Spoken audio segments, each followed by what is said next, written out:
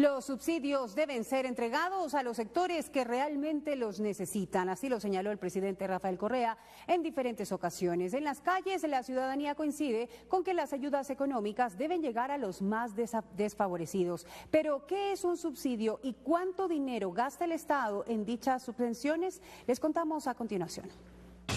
Los subsidios son ayudas económicas que entrega el Estado para satisfacer necesidades de la población. Sus objetivos son alcanzar metas sociales, como un auxilio a la gente de menos recursos. También pueden ser destinados a fomentar el desarrollo de diferentes actividades industriales. Ciudadanos, en un breve sondeo por las calles de la capital, reconocieron la necesidad de que las subvenciones lleguen a quienes realmente las necesitan. Bueno, yo creo que tiene que existir la equidad, ¿no es cierto? Los que más tienen compartan con el resto. Eso me parece a mí una buena medida. Debemos sincerar la economía.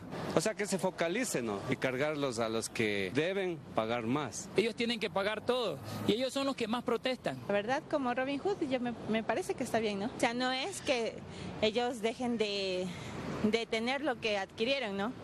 sino que compartan algo de lo que tienen. Este año el monto asignado inicialmente para los 16 subsidios vigentes en el país fue de 5.966 millones de dólares. Diferentes medidas adoptadas por el gobierno redujeron esta cifra en más de mil millones de dólares. La última fue retirar el subsidio para las grandes industrias.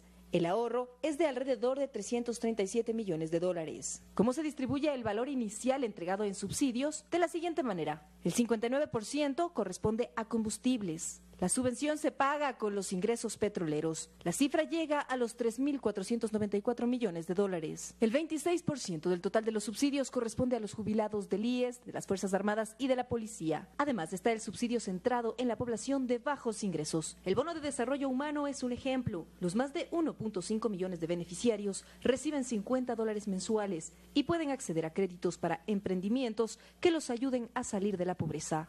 Silra Tras la Viña, Gama Noticias.